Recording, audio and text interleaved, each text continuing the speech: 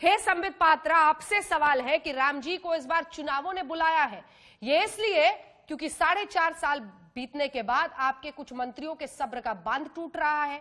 उमा भारती ललकार रही है कि कोई माई का लाल वहाँ मंदिर के अलावा कुछ बना नहीं सकता है। कोर्ट से भरोसा उठ गया है आपका अगर उठ गया तो ज़मीन अधिग्रहण कब कर रहे हैं? देखिए अंजना जी आ, मैं थोड़ी देर पहले जगजीत सिंह को बहुत सुनता हूँ। थोड़ी देर पहले जगजीत सिंह की कुछ नज्म सुन रहा था। दो लाइन बिल्कुल फिट बैठता है आज के डिबेट के लिए। तेरी आने की जब खबर महके, तेरी आने की जब खबर महके, तेरी खुशबू से सारा घर महके। राम जी के मंदिर के आने का जो खबर है उसी लिए आज देखिए पूरे हिंदुस्तान में उससे पहले शुभ संकेत की जो खुशबू है, वो आज पूरे बयार के साथ बह रही है।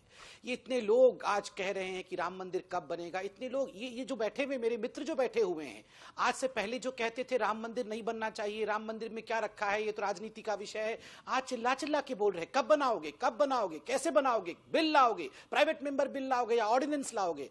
याद रखना चाहिए कि कुछ अच्छा होने वाला है तभी तो ये सारे लोग ये शुभ संकेत दे रहे हैं शंखनाद हो रहे हैं अंजना जी देखिए मैं कई डिबेटों में भाग लेता हूँ मगर मैं अंतरात्मा की आवाज़ आपको उत्तर देता हूँ एक सेकंड सर आपको टोक रही हूँ ये जो संकेत वर्ड आप कह रहे हैं इसका कोई हाँ। लाइफ। स्पैन है क्या कोई टाइमलाइन फिक्स किया है आपने या फिर आजीवन मतलब आपने इसको आमरण वो अमृत दे दिया है कि ये संकेत देते रहेंगे मंदिर देना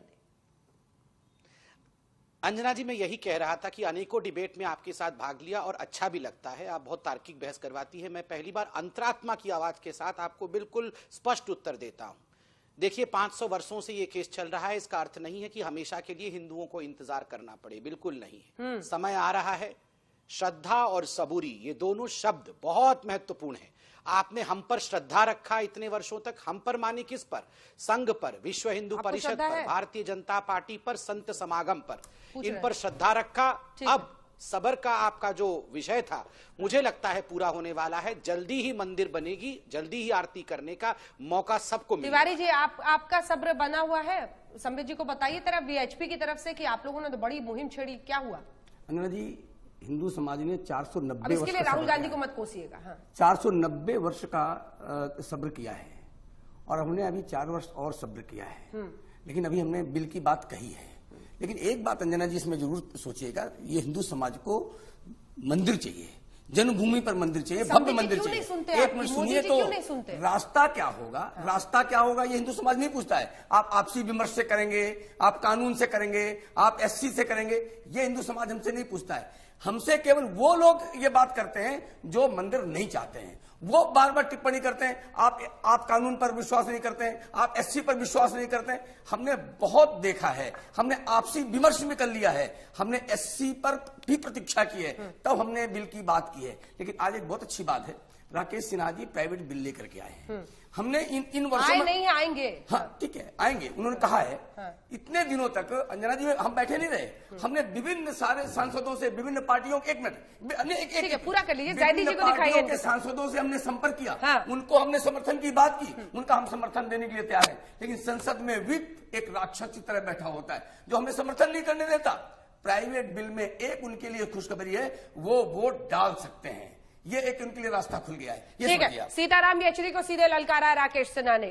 आप जैदी साहब बताइए आप लोग साथ दीजिएगा? राम मंदिर बनना चाहिए या नहीं? अंजना जी हमने उस दिन कहा था जिस दिन सुप्रीम कोर्ट के अंदर ये सुनवाई टली थी कि हम्म। बीजेपी की राजनीति के लिए शुभ संकेत और देश के लिए अशुभ संकेत है।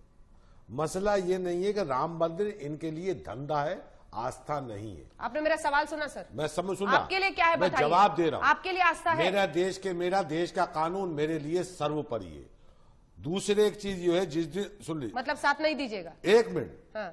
चार साल से उत्तर प्रदेश एक मिनट पाँच साल से मोदी सरकार है। नहीं, राम उत्तर प्रदेश के अंदर दो साल से योगी सरकार है। और सारे वक्त बोर्ड बोर्ड जितने हैं वो राज्य सरकार के अधीन आते हैं। या दूँगा। राम मंदिर धंधा है क्या है? अरे सुनिए यार आपके लिए धंधा है। आप कौन है? आप सुनेंगे नहीं सुनेंगे।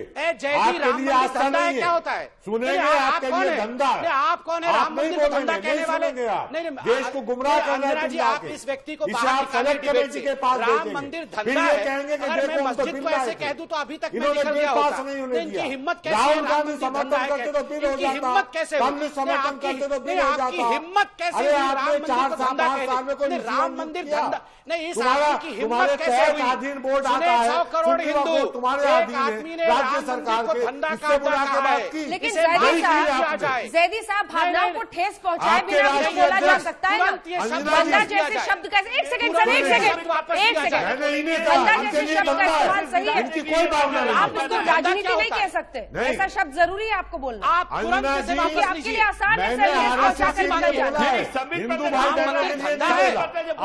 के लिए धंधा है हम लोग बोल रहे हैं तो शंकर तिवारी जी की आस्था है। जयचंद।